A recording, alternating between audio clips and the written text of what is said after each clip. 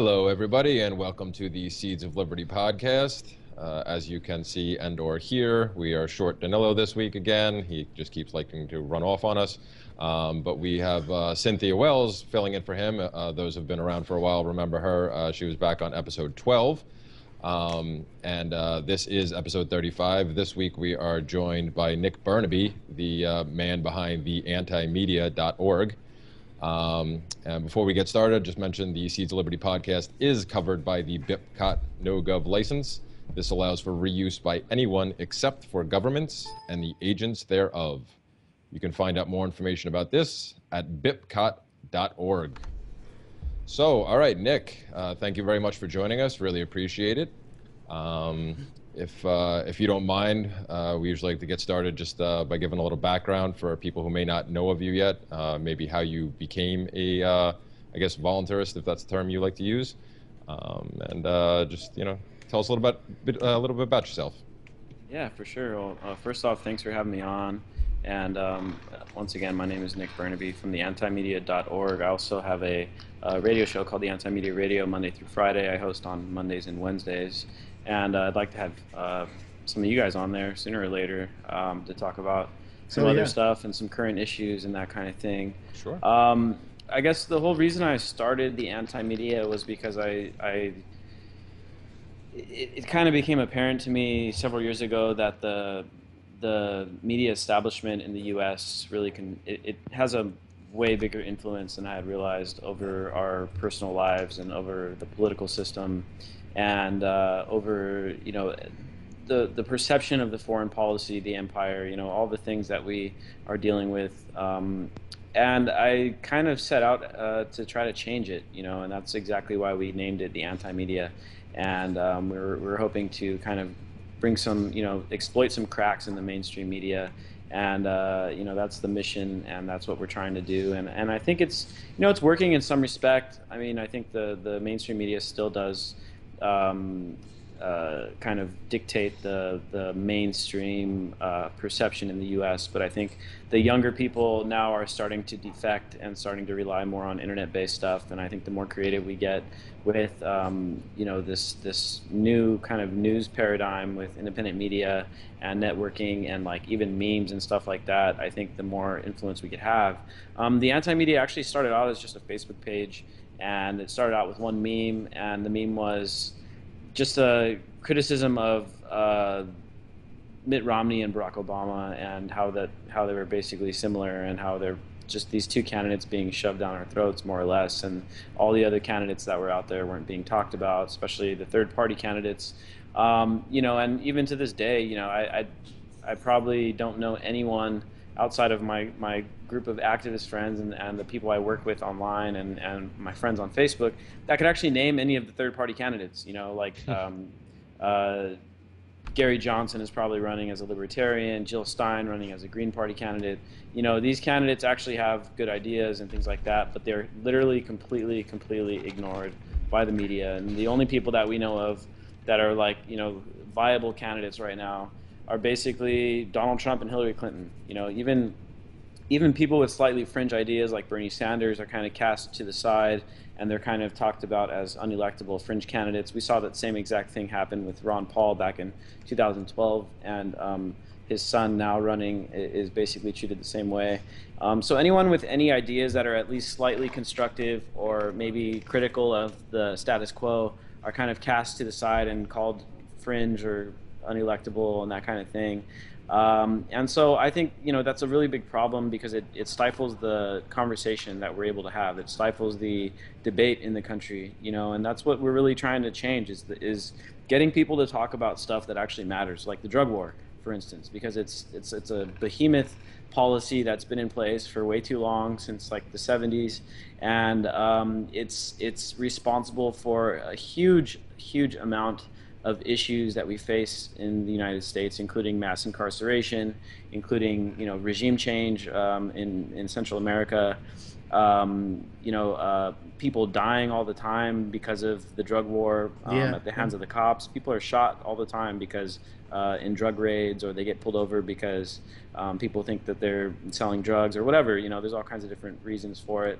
Um, but as far as the topic of how I became a voluntarist, well, I believe that you know all all societies should be voluntary. You know, it's a pretty simple prospect that um, we shouldn't be forced to do stuff that we're not supposed to do or that we don't want to do, um, and that there's many different ways of accomplishing a voluntary society. It doesn't have to be um, one specific version of it or another. I think that the whole beauty of having a voluntary society is that it it opens up um, the the societal structure to a bunch of different competing ideas, whether you're a socialist or a capitalist or an anarchist or whatever. Um, if we live in a voluntary society, you can practice your own beliefs and do things the way you think you want to do them without anyone coming and putting a gun down your neck and telling you how to do something differently or telling you that you're doing it wrong or telling you anything like that. Um, and so the very premise of a voluntary society just to me seems to be the most logical um, way of governing ourselves. Um, right now, I think we're very far removed from that idea of voluntarism and and you know consenting to our own leadership or choosing to be led. You know, um, in in the United States, it's kind of like uh, you know pick between these two puppets, and you know it doesn't matter who you vote for, even if the guy you voted for loses. You're still basically, you know, they're still assuming that you're consenting to the system. When in reality, I think a lot of people aren't consenting I think a lot of people do, but a lot of people don't, you know, and, and even if we don't consent, even if we say, look, I don't believe in these wars overseas. I don't believe in the drug war. I don't believe in uh, militarized police force. I don't believe in sending aid to Israel.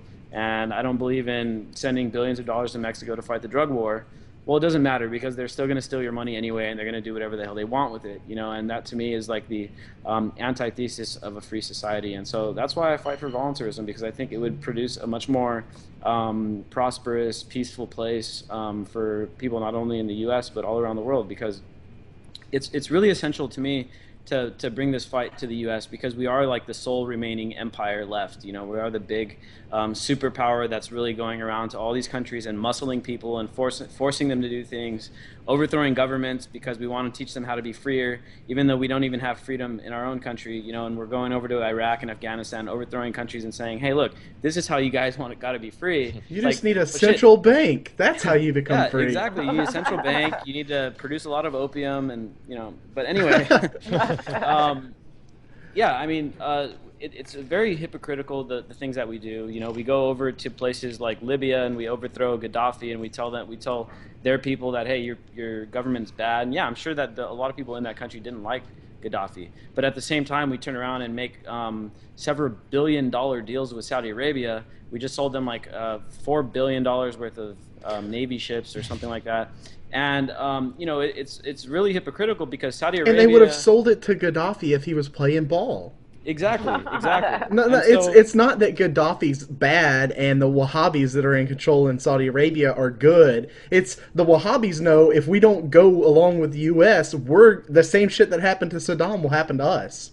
Exactly, exactly, and um, so it, it's very much. Uh, a selective um, interpretation of, of what uh, democracy is and what freedom is, you know, and so by all means, judging by our relationship with Saudi Arabia, they must be a very free, very democratic country, you know, according to the way that we're conducting our policy with them. Because, you know, from what our leaders tell us and what the media reinforces, is that we we go to war with bad countries and we're friends with only good countries. You know, so you know by by by everything that we know and how our foreign policy is, is conducted, that would make us assume that okay, Israel is an awesome free place, Saudi Arabia is an awesome free place you know and and libya is just a really bad country and iran is just a really bad country because they hate their people you know and this is this is the kind of idea that we're trying to break through at the anti-media and let and and kind of you know break through this propaganda because it's very it's very reinforced. It's been going on for so long. Um, you know ever since world war ii it's been in high gear you know and um, up before world war ii there was a very much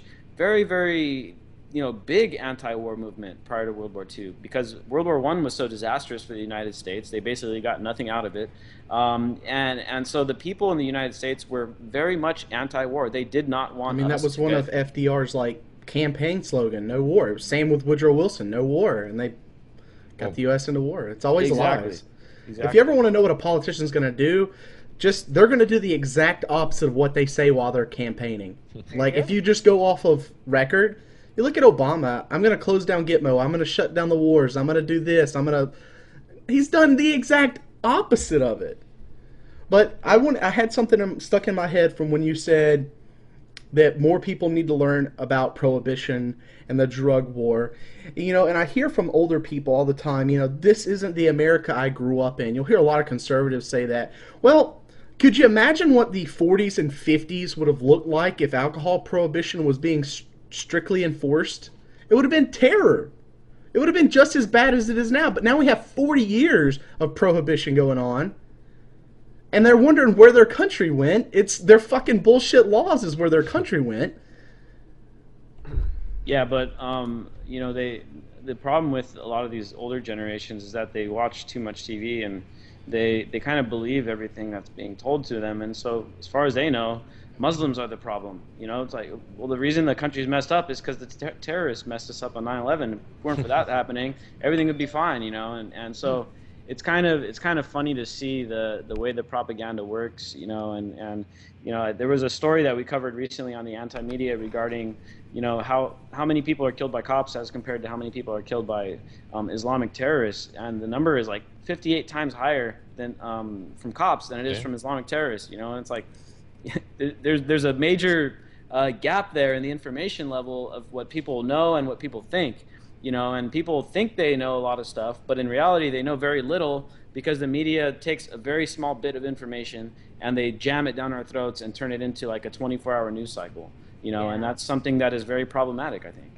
Well, sure, they they cherry they they cherry pick the data to to get the you know to shape the narrative the way they like it. You know, they the whole i mean because people like us we we hear we know the numbers we see the numbers of like for instance like you mentioned like you know with the uh, killed by law enforcement and the average you know american will look at that and automatically without even parsing the numbers at all will just automatically assume oh well they must have all been bad because if they were if the cops were after them they were doing something wrong well yeah. unfortunately most of those turn out to be absolutely um, nothing. Yeah, it was a victimless crime to begin with. I mean, by that to... logic, every Jew was bad. Well, yeah, but or, I was arrested outside of my house for a roach. No shit, that big, and I was taken to jail, and it cost me about a good two grand. So it's, uh, I believe it's a lot about money and stuff like that. Whatever they can siphon out of us. Um, people like me, people like you guys, stuff like that. You know, just every average, everyday average Joes. You know, minding our own business, and some authoritarian comes creeping up on us, asking, "Hey, what are you doing? What do you hmm. have there?" You know, it's just basically how much money are we going to get? Uh, yeah, how much money am I going to get out of you today? And they got two grand out of me this last time with that with the roach. I shit you guys, this big, tiny and I mean, I was like, man, I didn't so, even get so, to smoke all of my weed. I mean, at least let me well, finish it. I mean, yeah, you know, well, see, that's I'm what you do. Going to jail, guy.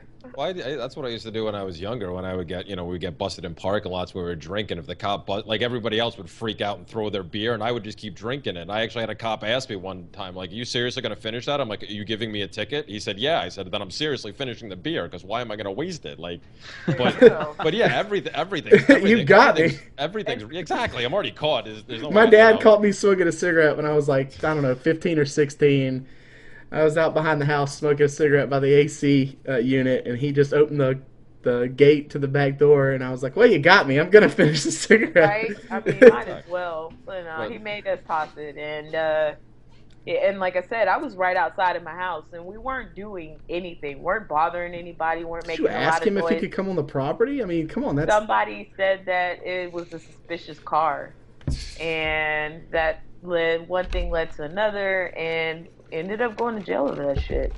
And I lost the, I lost my job. I really liked that job too. Ended up losing my job over that. So a lot of times the drug war causes a lot more harm than it does help. And I honestly don't know anyone that's really helped. Um, it's created people think that it's created like some sort of um, uh, racial paradigm where you know all the black people and stuff are going to jail over that but they don't even look at everyone that's going to jail over that. I was sitting in jail with people of all different races over little panty ass bullshit like weed and you know maybe driving without a seatbelt and getting caught with the open. I mean, it, it's like it, stuff like that. They treat really the person. Bad. They treat the person they catch with like a joint the same way they catch they, they treat a person they catch selling meth to kids. Oh, it, yeah. it, it, makes no sense. It's oh, so arbitrary, and that's the problem with government. Mad. He was highly upset that he had to. Arrest he was like, "I don't have time. You guys think I have time for this?" And blah blah blah. I'm like, "Well, if you don't have time, you have better shit to do. What are you arresting me for?" Yeah, you know, exactly. Go, exactly. Go if you're gonna if you're yeah. gonna play that superhero role and shit like that, go actually arrest somebody that's doing something. You know, in that same time that you took out to arrest me over again a joint, a roach this big. For our audio listeners, she's holding it up. it's like maybe a maybe maybe a, maybe an inch. Yeah. You know yeah. what a roach looks like. yeah, y'all do. So um, um yeah, that was BS. Being arrested for that, and you know that that really opened my, especially the voluntarism.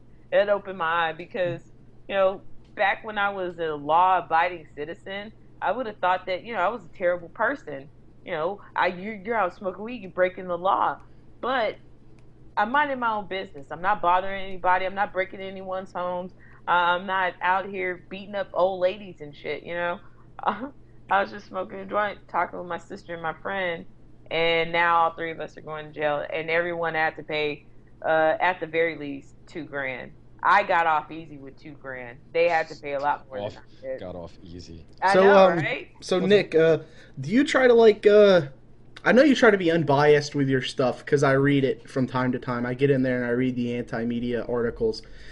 Do you personally, on your articles that you write, do you always try to have that voluntarist undertone, like not so blatant in your face, but like you know, kind of. I mean, we're we're blatant sometimes, but it, a lot of times we're trying to get under people and put put that that seed in their head.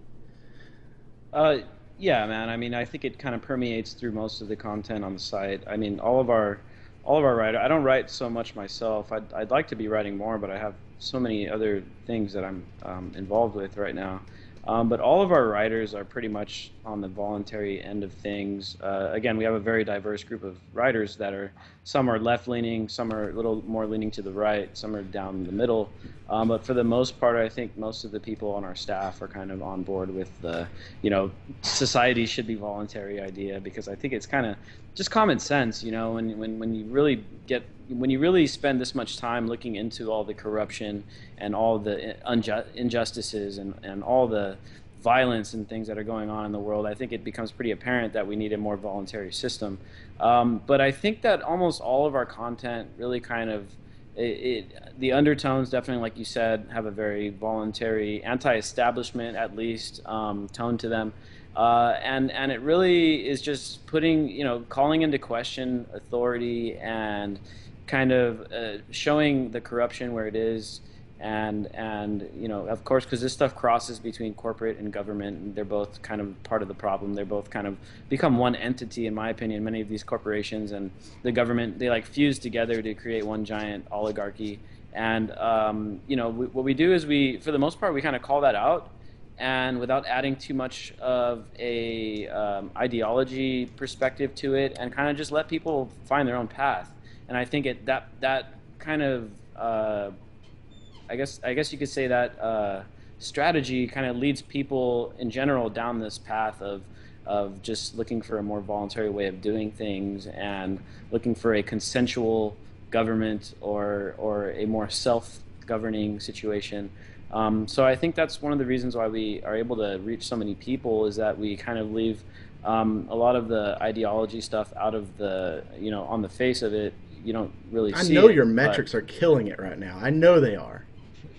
Yeah, it's it's it's been pretty good. I mean, in the the last week on the on the Facebook page, we reached probably like 25 million people or so. Oh wow! So it's yeah, it's pretty, I mean, it's it's, it's amazing. Yeah, it Impressive. is amazing.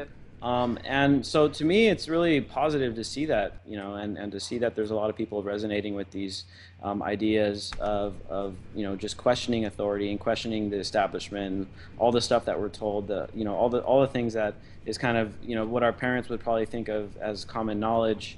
You know, um, I think that uh, a lot of people, younger people that are looking towards the internet for information, are starting to come out of that paradigm and, and starting to see new things, you know, and start looking at new ideas. And I think volunteerism is one of the ones that is rising up right now. Um, I think there definitely is a lot of work to be done on the messaging side of things, and you know, um, being careful not to fall into these ideological traps that I think a lot of people have done. Um, it's it's really to me it's really productive and constructive to be open-minded with people from different ideologies and, and really try to build coalitions and things like that um, because we're never going to get anywhere by, by being like extremely dogmatic with with uh, with with our ideas. Um, I think it's really important to work together with people that we disagree yeah. with on things, but that, that, we can agree with on some things, you know, and work together on those things. I, I think that kids are or people our age. I don't want to say kids because I'm almost thirty. So, but people our age they they won't buy the bullshit that gets put out by the corporate media as quick.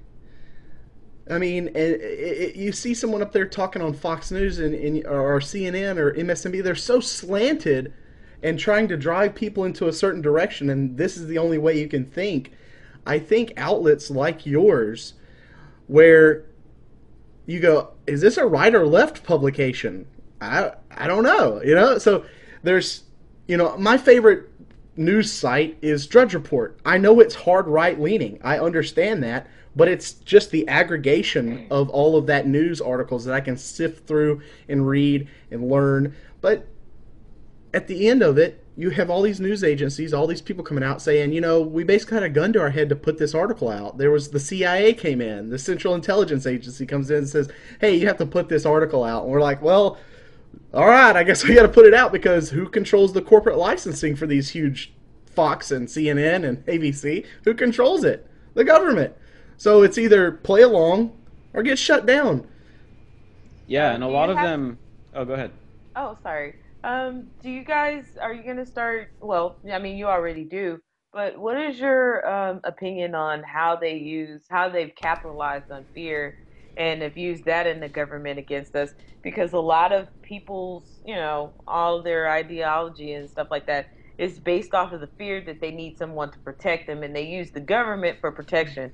Like the drug war, it's like, oh my gosh, we need these people to protect us from the drugs because, you know, then we'll have drug lords and we'll have this.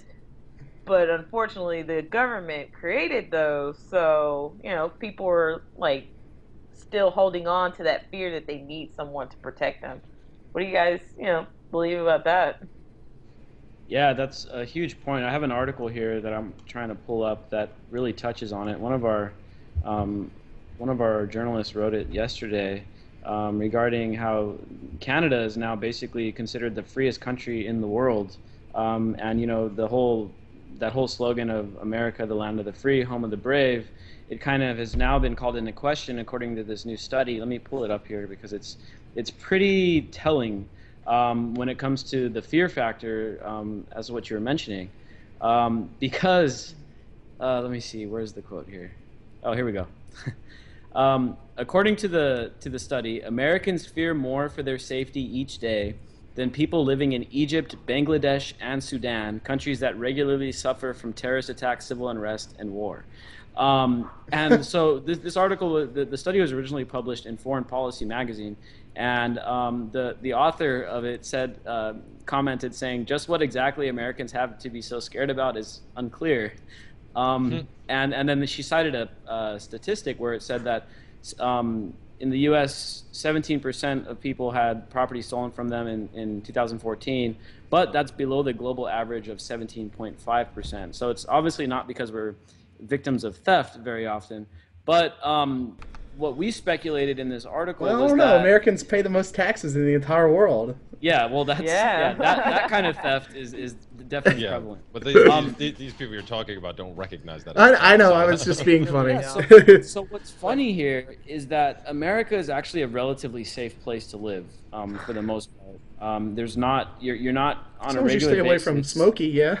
Yeah, I mean, but still, you have to I mean, people walk around like self-preservation and you know self-protect and protecting yourself like it's it's something wrong with it. Like you know, if you get a weapon or something to protect yourself or look out for your family, anything like that. They're trying to make it seem like you know only gun nuts or something like that that that own guns and yeah. stuff like that. And I'm like, no, there's nothing wrong with self-preservation, looking out for yourself and making sure that you're okay. And you shouldn't have to depend on some giant entity to protect you. Look, if, yeah, if you protect your if you protect yourself, Cynthia, that means less money goes to the cops. Ah, so you're hurting you're hurting that. we the people there, Cynthia. So you should just give your guns up so we could spend more tax money on more security.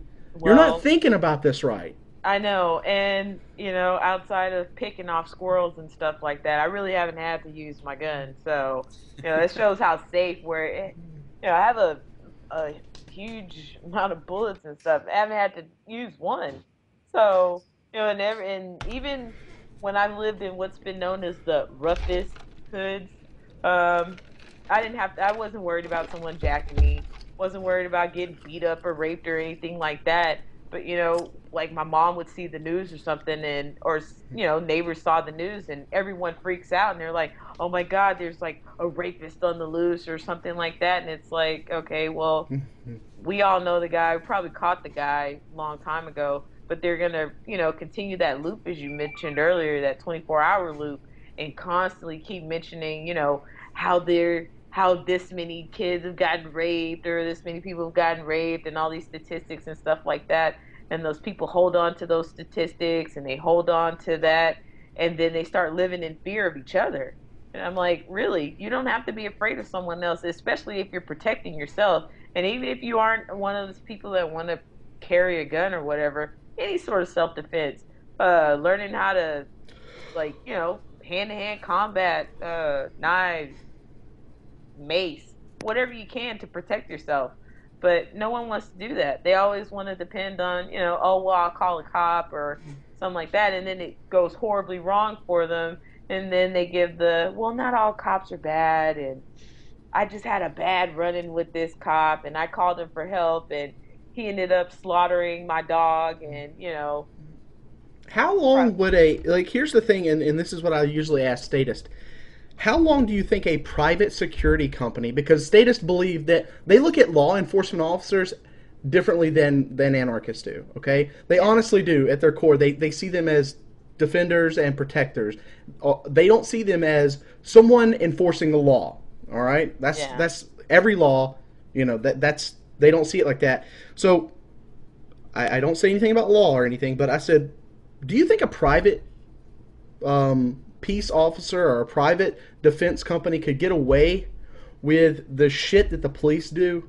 Like police guy messes up and kills somebody, shoots him in the back while he's shoots him in the back of the head while he's handcuffed on the ground, already booked and tagged basically, and gets away with it.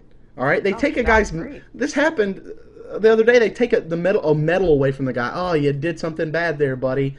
That shit wouldn't happen. Like, not only would they go out of business, no insurance company would back them up, so they would go bankrupt.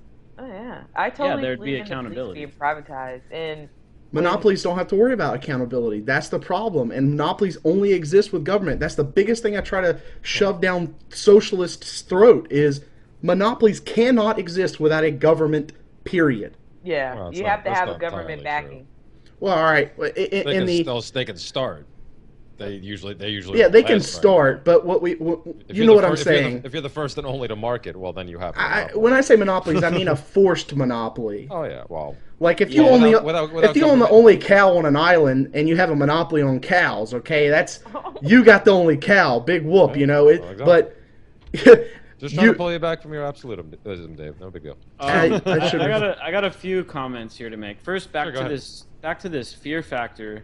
Um, with Joe know, Rogan. It's, it's, it's kind of funny that uh, people in Egypt, Bangladesh, and Sudan feel like they're safer than people in the U.S. do, even though the U.S. is a lot less dangerous to live in.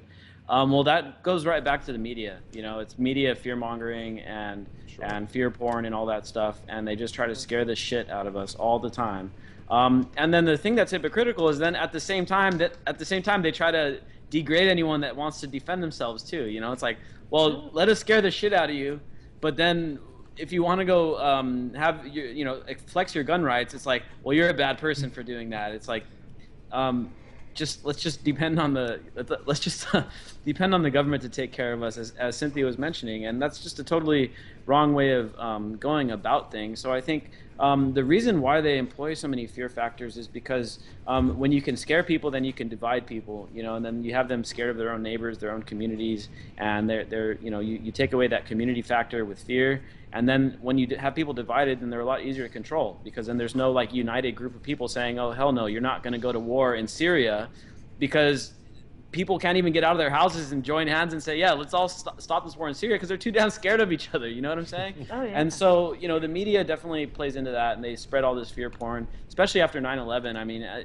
the, the, entire 9 11 thing, um, there's plenty of different, you know, I, theories on that thing. I don't want to go into that, but what we know for sure is that it was a giant psyop uh, as far as spreading fear throughout the entire country, and also spreading patriotism and just getting us to blindly support any kind of um, armed conflict that the government would push our way. You know, and everyone for for a certain amount of time, for a couple years following 9/11, it's like hell yeah, let's bomb every country that we want to. Like I don't give a shit. It's gonna make us safer. That's what the media is telling us. You know, and this is the this is the thing that you know a lot of people bought into. Now, fortunately, now it's wearing off um, and people are starting to you know buy into less of that that stuff. But at the same time, now we're so divided and stuff that it's just harder to put together any kind of united front to try to put a stop to these kind of things. Um, and so that's I think why they do the fear mongering that they do. It, it, it, allows them to make uh, take advantage of us a lot easier. Um, and well, then if, if you notice any, if you notice, if you ever debate a statist, they always it's every argument they're making is a fear-based argument. Even the who will build the roads, that is based in fear. Fear, yeah. Who yeah. will build them? I, the same people that are building them now, except you don't have some sort of government overlord with legislations and permits and bullshit to deal with. You know, uh, a lot, lot more businesses, like especially like our small family business. If we didn't have to pay all these taxes and permits and insurances and all this other different crazy shit we have to pay, we probably have a lot more money in our pockets. Cynthia, I'll talk to you after when we go on break. I'll talk to you. I'll, I'll, I'll give you some heads up. but anyways, Nick. But yeah, yeah, fear is a, a big a big factor of statism. Statism is based in fear, in my opinion. Oh yeah. Someone yeah. comes along and says, "Hey, I'll be your leader." They always base that why I should be your leader in fear. Yeah, the sure. boogeyman will get you, or you're gonna burn in hell, or how else are you going to deal with other kings? Uh, you know, uh, if if if if we wasn't ruling over you, then the you know, then the evil French or the evil Indians or you know, it's always some it's always something to try to grab servitude, in my opinion. Yeah, I agree with you, man. I agree with you. And then, you know, back to the monopoly factor. You know, the monopoly on violence is a huge issue, and the government is the sole um, you know, the single largest monopoly in the world, you know, here in the U.S., obviously. Um, the cops have a major monopoly on violence, and they kind of just get impunity and do whatever the hell they want. They slammed a young girl in school the other day. Yesterday, they shot a six, uh, six-year-old six-year-old, autistic. Yeah, yeah. six-year-old was killed yesterday. You know, and it's like, the hell's going on? Um, now, at the same time, I think we also have to be, you know, if we're going to start if in the near future we start moving into a more voluntary society, I mean, I don't see it happening in the direct future, but I mean, in the next hundred years, maybe it's a possibility. But um, we have to we have to move forward with intention and and and we have to build um, strong um, ideas of anti-monopoly ideas because there I think even without government, there's a, definitely a strong tendency to lean towards monopoly from a corporate side of things. Um, and you know, a, a, corporation eventually will become a mini state when it gets big enough. You know, and it'll have its own armed um, military and that kind of thing. And and then you know the some of these these corporations get big enough and they start forcing people to buy their shit.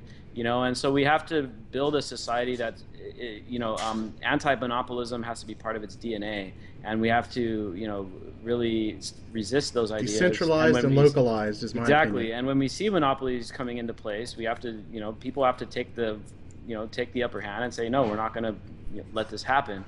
You know, and and do what we can to you know look elsewhere for services and that kind of thing, or whatever it is that we're dealing with. Um, but I think that that tendency in, in the, at the at the moment, man, if if we were just to get rid of the governments and we say okay, privatize everything, I think we would still be in a pretty sad place because I think there would rise a bunch of monopolies out of the current way that people think right now.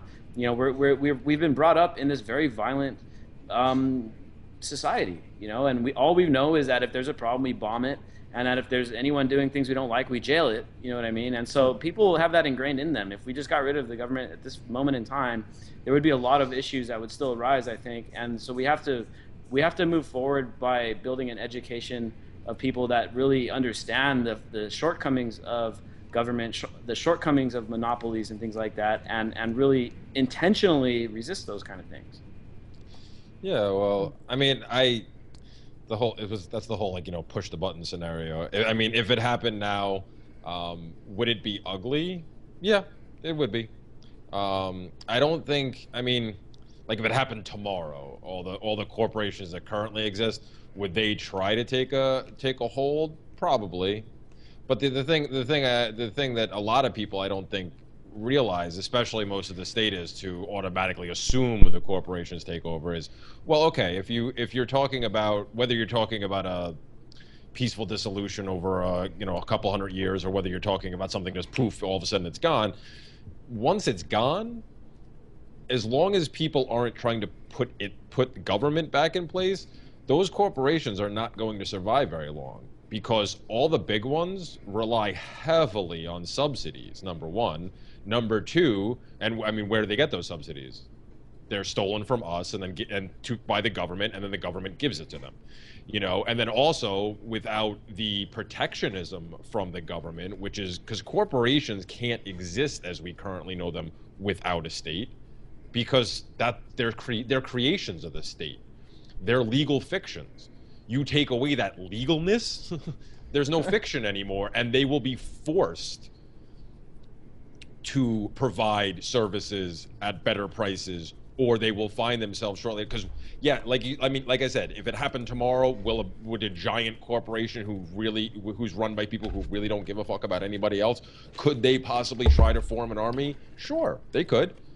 But what are they going to like if they try to imprison their customers how are they you know eventually it's, it's just like the problem with socialism you run out of other people's money. You in that situation if you imprison your customers, well, they're not going to be making any money to be able to give to you, and that plan goes well, I, kaput in a short, in short, you know. And so I, I, I mean, I used to be, I used to be somebody who was a heavy proponent of, of, of hold this off as long as possible. Let's, I mean, I, I, still am. I still, I mean, we do this podcast. It's all about educating. You know, the whole idea is about educating people. We're constantly out there trying to educate more people. You know, I'm, try, I raise, I'm, you know, I'm, I'm into the peaceful parenting thing. That's how I raise my kids.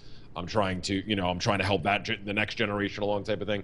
But I've become less and less scared as time goes on over the possibility of the push the button scenario because, like I said, will people panic? Sure. Will we lose some people? Yeah, absolutely. Um, but as, as, harsh as it may sound, well, that'll only you know strengthen the species because it'll be the weak ones that'll be picked off quickly. Ooh, you just made a lot of socialists angry there, Jeremy. Um, you know, so one of the one of the things one of the things that to me. What are you, an economic Darwinist? One of the things that I why we I think we need so much more work to do is that um, these ideas are still very much on the very fringes of, of um, mainstream society, you know. And so in the push the button situation, tomorrow the government's gone. You still got 90% of the population that our statists, and they're going to be looking for the next thing, you know. And oh, they would. Uh, they, uh, two two countries would pop up: Democrat yeah. land and Republican land, oh, and everybody that's a Republican would move over to this side, and everybody's a Democrat would move over there, and you'd have state oligarchs ran yeah. by both sides, and they would both still be controlled by the Fed. The, the likeliest the likeliest scenario would be a military coup, and then you know there'd be a some kind of new leader reinstated. There was already a poll that came out just a couple weeks ago that said that over 50% of people would actually be supportive of military coup in the United States. Um, and that's kind of a scary prospect. And that's why I think we need education so much. You know, we need so much education and the, these ideas. Um, I think they're really sound ideas and they're like very logical and they make the most sense. But I think just we need more people that to get on board with them. You know what I mean? Before before we can count on any kind of major shift happening. Because if some if, if it all falls through tomorrow, you got a bunch of people that don't know a damn thing about um, uh, self government that are going to be running around looking for the next king. You know what I mean? And and that king is probably going to be worse than the shit we have right now. May, you know, it's possible. You know, and so it's got. I think we have a lot of work to do on the education side of things. I think I think ignorance is the, the biggest cause of of the issue here, and, and I think you're dead right. It's education, and I don't think we'll see a global state dissolution scenario in our lifetime unless internet just really just at light speed outpaces the state. I mean, I said it the other day. I was discussing something with someone, and I said, they said, "Well, what is it that you want?" I said, "Well, I want the Uberization of everything. I want everything to be. I want everything to work and and and and essentially function just like Uber does, but not from a corporate IP standpoint. Just the way it's self-governed it's you know you don't have to use it unless you want to. You know, it's I think the blockchain and the internet and just capitalism is just destroying state control. Like they if you notice every state gets in and the first thing they do is they try to shut down or control capitalism in some way. Yeah. But but supply and demand can't be it can't be ignored. It can't be. Definitely, yeah. I think that you know entrepreneurship and and um, good ideas really are you know they will prevail eventually. Um, it's just a matter of uh, time, I think, sooner or later. Um, and I think, as you said, the internet is really the key because throughout history, information has pretty much been a privilege, you know. And for the longest time, it's it was just the ruling class that had access to literature and to books and to knowledge and things like that. It's not really until you know, yeah, the printing press freed it up a little bit, but even then, if you couldn't afford books, especially at the beginning, books are really expensive, mm-hmm. um, and the only book people would be having at uh, back in the day was like the Bible and you know religious books and things like that. Um, now with the internet, it's really provided a decentralized platform for information to spread, and that information I think is the single thing, the single strongest thing that is going to provide any kind of change to anybody because now we're opening up all these avenues of alternative ideas to what we are currently being fed and kind of forced into. And information is this is the sole thing that's going to help save us. Um, you know, without information, we, we wouldn't be able to learn from the past. And you know, obviously, with republicanism, you know, Republican democracy, we've been dealing with this idea for like 2,000 years plus, right? And it's like, you know, we, we haven't been learning from the past because we keep on trying the same exact idea. Um, and that's probably because the dudes that keep setting up these governments have been the only ones that had access to all this information for a really long time. Um, but now that's all changed thanks to the internet, and that's exactly why they're pushing through things like CISA and you know massive internet um, censorship. Uh, if you look at states like in Turkey, which is another coincidentally another American ally, supposedly a mm-hmm. NATO um, member, you know they recently are like shutting down Twitter and Facebook after a bombing oh, yeah. went off against the Kurds, and you know the the internet is the most dangerous thing in the world right now, and, and I think the the politicians. No, it's the most that. dangerous thing to totalitarianism in the world. Yeah, that's that's exactly what I meant. Um, but yeah, you know, these governments are going to try to control it as much as they can, and obviously they already are. Um, the NSA is already snooping on most of the communications. Hell, they're probably listening in on this call right now. Um, but Fine with me. Hey, NSA agent. I'm pretty lot, sure we're all on some sort of list. yeah, exactly. A lot has to be done um, to maintain the internet freedom and uh, I think one of the things that, that is going to help us would be, you know, building a culture of like encryption and a culture of, privacy where it's you know uncrackable stuff. If you look over at England, they're they're they're really more blatant about their surveillance than, than they are here in the U.S. England um, is is literally collecting every single bit of communication in and out of the country, um, and they're pretty open about it. They just passed a new law out there, and they're they're they're taking they're already arresting journalists and taking their stuff and. Um, uh, Glenn Greenwald's partner was, was was taken into custody in England um, because they suspected that he had some of the leaks on him and things like that. And so, I mean, uh, you know, the internet I think is the greatest uh, front line right now for freedom, and it's our best chance at freeing up all this um, information to give us a shot. You know, without it, we're going to be stuck. You know, we're going to be stuck in the dark ages. We're going to continually rely on government to provide us with our information, and that's not a recipe for success. You know, we need it to be free and open, decentralized, and you know that's the way that's the way we have to go forward. Mm-hmm. Yeah. Yeah. Totally. Mo- It, it, it drives my it drives me nuts. You hear conservatives, you know, that'll agree with the Patriot Act or, or say they want a military coup or whatever. And you know, I ask the average statist, you know, like your ideal government. What if it gets taken over by crazy people? What if it gets taken over by totalitarianism? Um, and they say, well, we'll just have to knock it down and put up another one. I'm going to go, can't you see that every government turns into totalitarianism? Just from the day one. If an entity can tax and you can't, then you're being you're a serf, you're a slave, you are being ruled. Yeah. It's and, really and hard they, they don't see that. Grips with that uh, because you've been told your whole life. I mean, think about it, guys. When we were little, when you said the the pledge and all that, and we were going through the motions and everything, we were told how wonderful our government is, how great everything is, how we have to be afraid of the outside world and stuff like that. Well, now as we've gotten older, you know, we see that it's bullshit. So. Exactly. I was on a. I had a yesterday. I called my my friend called me from London. The day before, I was talking to a friend of mine in India, and you know, an instant communication with these guys, video call, video chats on Skype, and on Facebook video and things like that. And it really allows you to have a new perspective.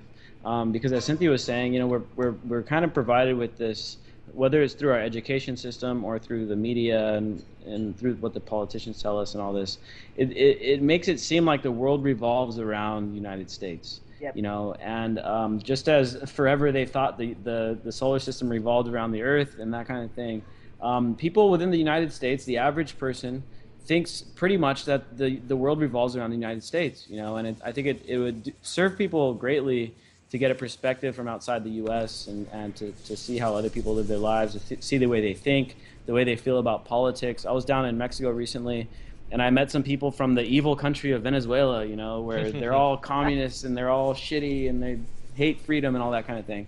But, you know, I, what I found out was that you know most of that stuff was just U.S. propaganda. The people that I met from Venezuela, we got to talking. I speak a pretty decent amount of Spanish, and I was able to talk to them.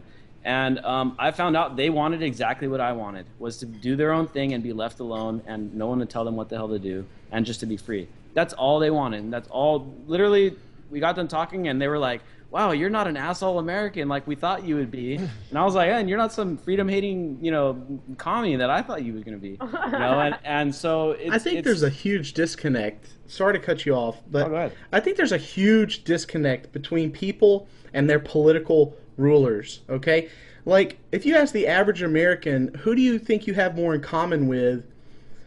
President Obama or President Bush or, or Senator Feinstein, whatever, or the average Joe in India or Russia or Venezuela or Guatemala, and they're immediately going to say, I have more in common with the average Joe. It only makes sense. But you ask them, then the, the next question you ask them is, do you who does Nancy Pelosi, Barack Obama, uh, George Bush, who do they have more in common with? You or Mikhail Gorbachev or, or Vladimir Putin or uh, Angela Merkel? Who, who do they have more in common with? You, the average Joe, or that other political ruler? And uh, they don't understand that all this propaganda and all this, this hate. There's so many people that hate the Iranian government in Iran they're just like people over here. 99% of Americans hate the government. They won't admit it, but they fucking hate the government. And and, and it's because they're all assholes. Just like the Iranian government, all assholes. Just like the Saudi government, all assholes. Every, every if you want to be a political ruler, you're by definition a asshole. Yeah. But it's because we've been like I said earlier, you know, we've been taught to fear and love the government. I mean, really think about it. You know, government. yeah, we're we're we're we're totally we're a lot of people are suffering from Stockholm syndrome. I mean, they really cannot wrap their minds around not having a government, around not having someone telling them what to do. Like the first time you mentioned voluntarism or anarchism, oh well, I don't want to run around naked in the woods. Excuse me, I'm pretty happy with my iPhone and all my nice shit that I have in my house. You know what I'm hmm. saying? Yeah, I, I, want the really power to be on when I get home. You know. you know what I'm saying? like you know, I didn't need some sort of government aficionado to, you know, walk me to my house and turn on the lights and shit like that. This is all stuff I could do by myself. I'm like, you people live your lives every day in anarchy. When the door closes, mm-hmm. when you go home, you do whatever the fuck you want. And you don't have someone standing over you telling you what to do and what's right, what's wrong, this and that. But when you go out into the just world, wait, it's just like wait. people act like they lose their minds or like, you know, oh, you guys are gonna let rapists and everything go about. I mean, really. And then our in just wait till the federal. Society, no, they're not. There's not going to be rapists and people like that. In fact, there there will, but less rapists because we won't have to go through that bullshit judicial system, and maybe the rapist gets off because some sort of loophole that they found, and now he's back on the streets again. You know, it might be a family that finds a rapist, and he's a dead rapist. There you go. Well, there, there will be rapists in any society, and you Anywhere. know, a, a, lot of things you'll say you'll hear a statist say, uh, "Nick, we got to have government because other everybody will be running around murdering each other." They do it now. Uh, uh, they do that now. In government, like police. Chicago. Wait, are you sure people murder because it's illegal? So I don't think that that, that actually happens. I, I, I mean, yeah, no, no, it's not murder. It's called. They must be on. anarchists because they're just not following the law there. Yeah. Way to but go. uh, I, I uh, I think there's going to be a percentage of people out of every population. There's always going to be a sample of psychopaths. You know, no matter sure. how no matter how good you are at trying to weed them out. You know, I mean, the potential politicians have have something to do, right? Yeah, and and you know, psychopaths. You know, kind of uh, gravitate towards certain positions, and I think politics is one of them. You know, yeah, and a lot sure. of politicians are sociopaths and psychopaths and stuff like oh, that. Yeah. They gravitate towards these powers of these these positions of power and control. Um, so you know, no matter what society you're in, you're never gonna. It's never gonna be completely perfect. There's always gonna be killings and you know horrible things that happen. Um, but I think the more the more that we get away from these ideas of prohibition and stigmatization, I think we can flush out a lot of a lot of these nasty things that people do, um, including like rapists and stuff. I think that if if it's not if it can be identified at a younger age and it's not so stigmatized, it can be dealt with um, through like therapy and you know different different routes. You know, just throwing people in jail and things like that, and just burying it deep down and just say, oh, don't ever talk about it. We know, you know, maybe the parents knew the kid had some issues like that.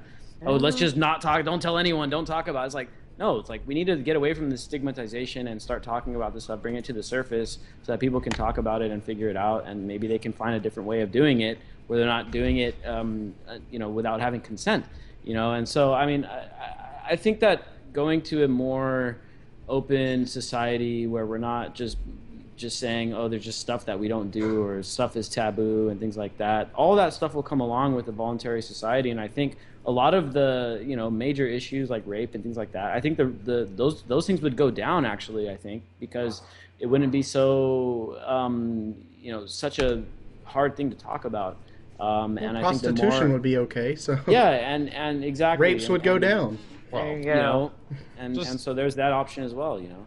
Sure. Well, I mean, just, just just eliminating government and the prisons that they populate would automatically cut the rape numbers by more than half, because more than half the rapes are male on male and occur in prison. So just getting rid of that would automatically cut the numbers. But but yeah, I think I mean just like anything else, it, it's it's education. It's I think what you're saying is, uh, you know, is is pretty spot on about you know the the stigma that you know if if you stop making things this taboo where nobody wants to talk about it and you bring it out into the open, yes, you have a better chance of potentially solving problems. Um, but just in general, I mean, the one thing Cynthia said that I, I think goes back to what I, the point I was trying to make earlier about how, yeah, would we be better off with more time in education? Absolutely, and more people educated and, and more people knowing. Mm-hmm. The, basically the things that we know and how we see things sure absolutely would make life a hell of a lot easier but i think because you know what cynthia said most people live much of their lives without realizing it in anarchy and i think that's the thing that's one of the key for me to educate people on is to show people that hey wait a minute all these things you do on a do- normal basis, you don't actually require the assistance of another person. You don't require somebody to regulate what you're doing, and you do it anyway, and you survive, and you're happy, right? Okay, yeah, all this can be yours and more.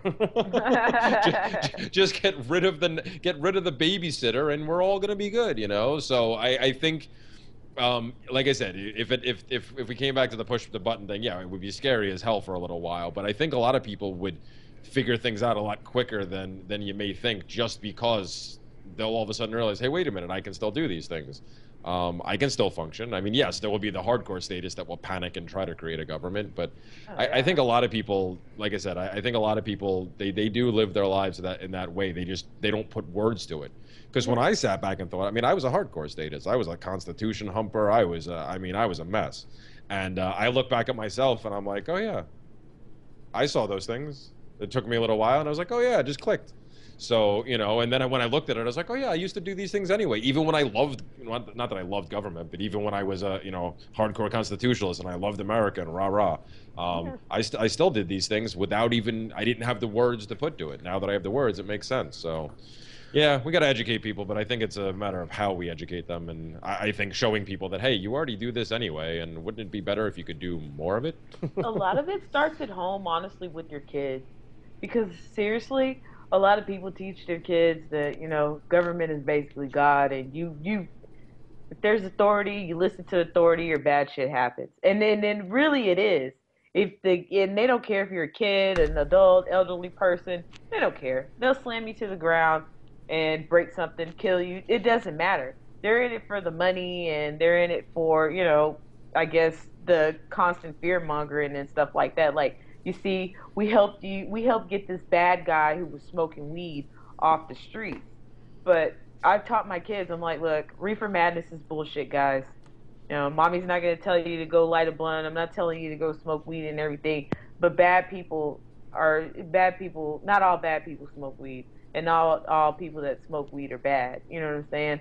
So it's like you have to start at home with that foundation and teaching your kids. And then I believe once we get enough like a lot of the youth and kids and stuff like that that they'll grow up and then they'll start teaching their kids because a lot of people don't want to talk to their kids about this shit. Yeah, a generation they don't want to tell people... them anything. They use the government to babysit and take care of their kids and stuff like that. A lot of people depend on them to educate their kids. Uh, my kids asked me who um, Vlad the Impaler was, and they were asking about the name Vlad and why is it so popular and stuff. I was like, well, where Vlad is from, Transylvania or whatever, you know, they believe that, you know, he was he was doing what was best for the country, which was unfortunately impaling a bunch of people onto stakes and keeping everyone out. So I was like, you know, he's revered as a wonderful person over there. Well, some kids asked them, asked my kids about it, and they asked where they learned it from. They were like, I learned it from my mom. I'm like, basic information. People can Google people can Google the next synopsis of Empire, the TV show, but they won't even take five minutes to Google voluntarism and tell their kids, you know, hey, you are free. You're born free. You can remain free. You should be free. You shouldn't have to have some sort of giant babysitter looking over you at all times.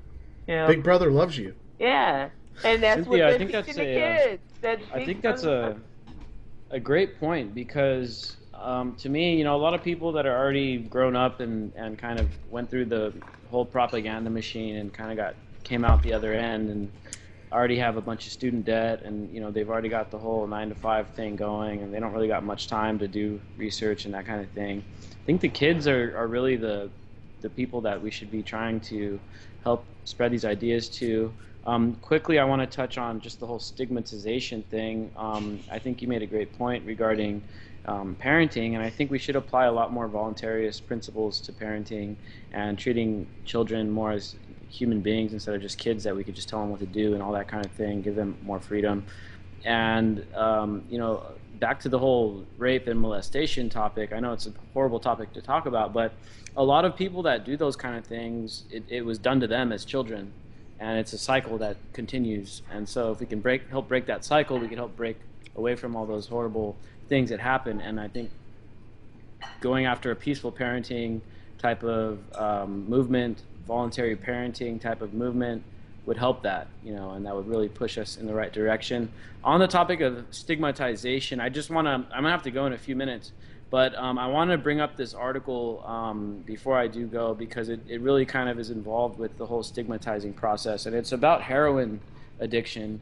And um, because heroin is, is another one of those things where it's very stigmatized. People that are addicts, it's like, you know, the people that are addicts in your family, like you disown them and you don't talk about them. And your friends ask, oh, how's your kid doing? Like, oh, I'm not going to talk about that right mm-hmm. now, you know. And um, this is something that is really sad, really. And um, it, it's treated by the government as a as basically oh if you're addicted to heroin you're going to prison or you're going to jail and that's pretty much the end of it you know but fortunately there is a, a new movement and it's pretty surprising because it's coming from local police departments um, but there's a movement to stop treating heroin addicts in particular but this it kind of extends to all drug addicts to stop treating them as criminals and start treating them as a health issue and as, as a addiction issue um, and that's exactly what's going on. It started in Gloucester, Massachusetts, but now it's already spread at least portions of the program, and it's called the Angel Program. Um, it's spread to over 40 police departments, and there's over 90 police departments that are looking to get involved, and it's already happening in nine different states. And this program just started this year in June. But basically, what they do is is um, if if people that are addicted to heroin come into the police department and they can bring their drugs and everything with them, they'll the cops will bring them in, and instead of taking them to jail, they'll take them to the hospital where they're assigned basically a um, basically a mentor that's going to they're, called angels, and the mentor is going to help them break the addiction cycle. Um, and so uh, it's a pretty simple, basic premise. You know, instead of throwing people in jail because they the, this one cop that started this whole thing, he was a police chief. He just saw his whole town going to shit because of heroin addiction and he's like, look, the war on drugs is not working. And in fact, he put out a statement on Facebook back in June where he said it. You know, he said, the war on drugs has failed and we lost. Um, and his original statement went extremely viral, and the program went, went into play. And now they're um, seeing a drop in crime rates, a drop in overdose rates, a drop in addiction rates. I mean, basically, what we're seeing is positive results all across the board.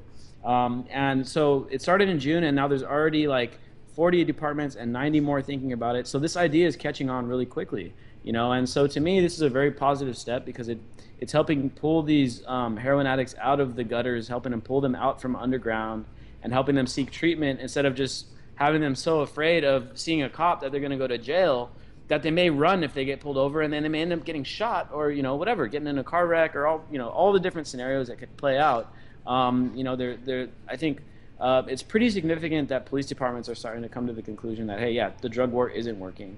Um, and so, you know, this is pretty pretty positive in the U.S. because you know, federally speaking, it's very much illegal. All drugs are pretty much illegal still, except for the pharmaceuticals, which are actually more dangerous. Uh, yeah, maybe not more dangerous, but kill more people. Um, they're, they're, they're, definitely more dangerous.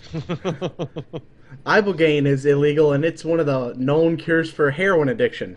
So, yeah, it's a, exactly. The state only knows how to solve issues through through violence, and they think if they just tell enough people don't do this, then the problem will just get swept under the rug. But we can see that you tell a child, "Hey, don't do this," they do it, you know. And we're all just grown up children, all right. And in our subconscious, in our subconscious center, when someone says don't do this and they don't have a good reason for you not to do it, you're gonna you're gonna do it if you want to. Yeah, you are, and they are, and but um, it's bad. but uh, you know, Nick, I wanted to say something before you got off.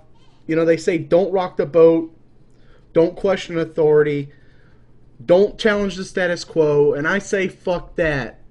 rock the boat, raise your voice, challenge the status quo and you, my brother, you do that, and you don't. Please never stop. Make them kill you, okay? oh yeah, man. I'll, I'll, keep at it, and you guys too. Thank you all for what you guys have, do. Have you thought of uh, getting someone like Larken or um, uh, Tom Woods or Adam Kokesh or somebody to write like a, a good sized article about voluntarism and putting it on the uh, anti media, or has that happened already? Um, we have a few kind of um, voluntarist leading um, opinion pieces up by um, John Vibes and Derrick Broze. Oh. Um, but Larken, Love Derrick. I'm, I'm, a, I'm, a big fan of Larken. Um, and I'm Derrick sure if you messaged him, he'd do it. Derrick is actually one of our staff journalists, so you know he can catch his work on the anti-media on a pretty regular basis, and all of his stuff kind of leans in that direction. Um, I, I'm a huge fan of Larken. I think he has a lot of good points. Um, but I haven't yet. I haven't actually. That that's a great idea. I haven't reached out to them yet. I'd love to see that, man. I'd love to see that. I'm sure he would do it if you said, "Hey, my name's Nick. I run the anti media. We get a million point five hits a, a week or whatever, or two, 200. We get 250 million hits a week on just on Facebook. Uh, you can plug the shit out of your book. Would you write an article for us? I'm sure he would do it. That's a good idea. I'll probably look into that. All right, but I gotta get I gotta get going, guys. Um, oh, no. Okay. Uh, thank you so much for coming on. Uh, we're gonna take a short little break. I don't know what we're going to play in the middle. We might play a Larken video just since we're talking about him. And uh, when we come back, we're just going to catch up with Cynthia for a little while and then probably close down the show, guys. All right. All right. Well, Nick, Nick, thanks a lot for coming on, man. Really appreciate it, g- giving us the time. Um, everybody, if you haven't heard about him yet, please go check out the anti antimedia.org. Um, all that stuff will be in the show notes, and uh, you know, hopefully, uh, we'll have you back again sometime. Well, looking forward to it. Peace out. All right. Thank you. Somebody recently asked me if there's anywhere they can go for a brief, concise synopsis of my main point of what I talk about, or the main point of my book, The Most Dangerous Superstition. And I couldn't think of a place, so this is it. Here is the main problem with the world and the solution in two minutes. Gonna have to listen fast. Ready, go. Most conflict, violence, and injustice is the result not of individual malice, but of people imagining an obligation to obey a perceived authority, usually government. In their daily lives, most people accept the non aggression principle. It's not okay to rob or attack other people. But they've been taught that government has an exemption from that rule, and that legalized theft and thuggery, taxation, and law enforcement are moral, legitimate, and necessary for society. Here are three independent proofs that the concept of government is not just susceptible to corruption and abuse, but is, by its very nature, self contradictory and insane. Number one, there is no document or procedure whereby any person or group of people can delegate to another a right which the first person or group didn't have to begin with. Ergo, Congress cannot have acquired and does not have the right to do anything that you don't have the right to do yourself. Two, you can't have a moral obligation to do what you think is wrong. Whenever there's a conflict between what authority commands and your own conscience, you have the right to disobey. But if that's true, then the one giving orders isn't authority, since authority means the one with the right to rule you and the one you must obey. Three, no document or ritual can alter morality and make an evil act good. Either man made law matches objective morality, in which case the law is redundant and irrelevant, or it conflicts with objective morality, in which case it is illegitimate and should be disobeyed. Either way, legislation never creates any obligation to obey and therefore has no authority. Once all of this is widely understood, that's the end of most of the theft, thuggery, oppression, and war in the world, which happens now as a result of the belief in government, meaning a rightful ruling class. If evil were committed only by genuinely nasty people, instead of being condoned and committed by almost everyone, all those who imagine that legalizing evil makes it good and imagine that agents of authority have rights the rest of us don't, the world would be a far more peaceful and just place. Amen. Now, if you have more than two minutes to spare and want a thorough explanation of this, then get a copy of The Most Dangerous Superstition. All right, so we're back from our little break. Nick had to run out. He's a busy, busy man, but we do appreciate him giving us the time that he did. Um, uh, but now that we're back, uh, we're going to catch up maybe a little bit with Cynthia, um, see how things have been going for her in, in the world of anarchism in her neck of the woods um, since she was last on, back on episode 12. Um, and I know Dave had something uh, I think maybe he wanted to talk about too. Uh, so why, why, don't we start with Cynthia? well, I've been doing good, you know. Uh, I guess staying out of trouble, which means staying out of the way of the law. So you know, pretty you've much. Not, you've not been you have not been contacted again since we last spoke to you. no, no, they haven't. I haven't gotten in any trouble. Just been trying to I guess spread the word and everything like that. But you know, trying to get people to wrap their minds around the fact that they don't need a giant government entity in order to feel safe.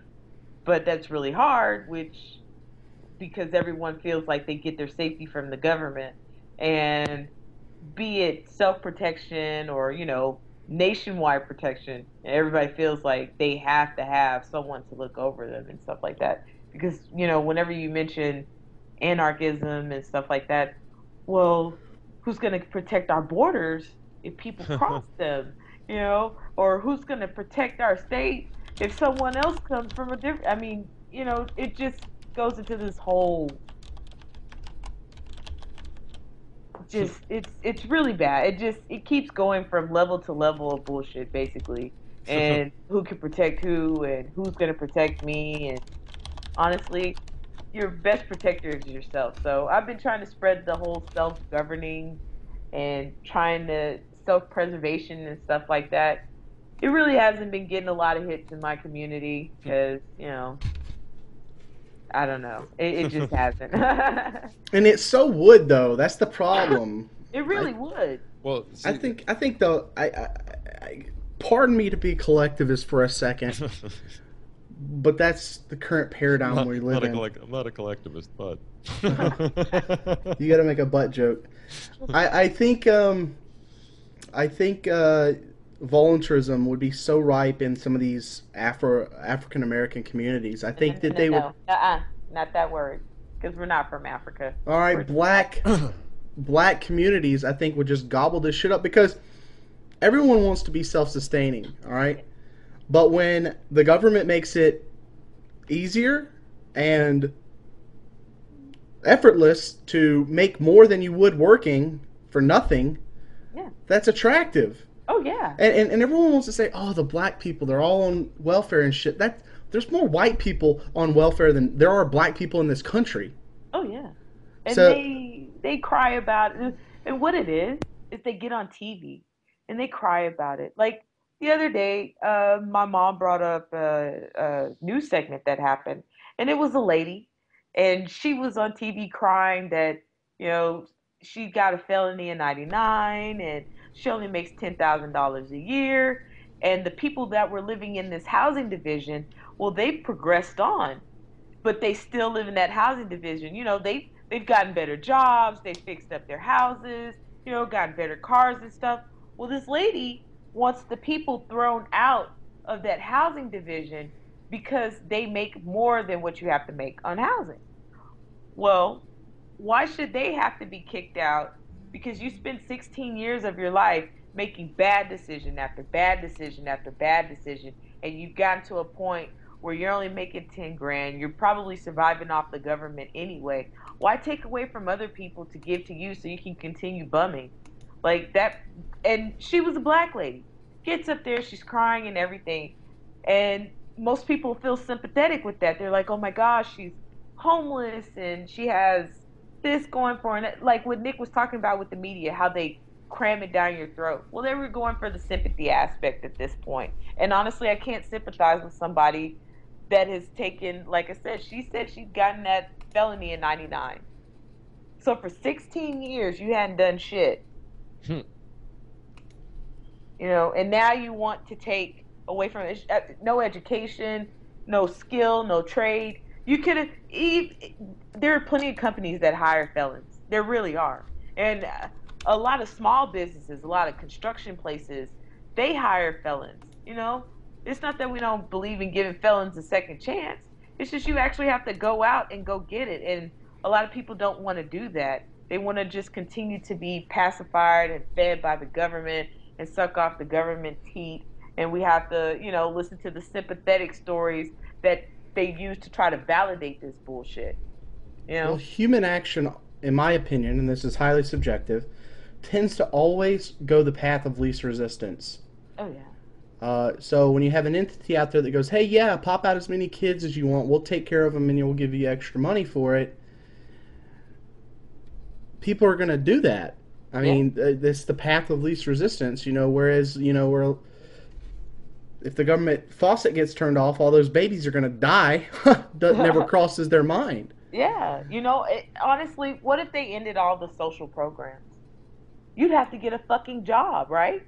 You'd have to find some sort of. There way. would be. It would be rough. There would be a lot of rioting. Well, that's that's the kind of thing yeah. I, I, was talking about earlier when uh, when I when I kind of pushed back on, on on what what Nick had said about you know needing you know if it if there was this collapse it would be you know it's it's almost like that that doomsday scenario that everybody thinks oh it would it would be horrible well yeah it might be bad for a while but yeah. a lot of people would get off their rear ends and go oh crap I have to do something now or I'm going to die yeah and they would figure it out um, I mean, it's funny though, like they're just, they're just the way that you told that, you know, the the story about the what you you know the the, the woman on the news.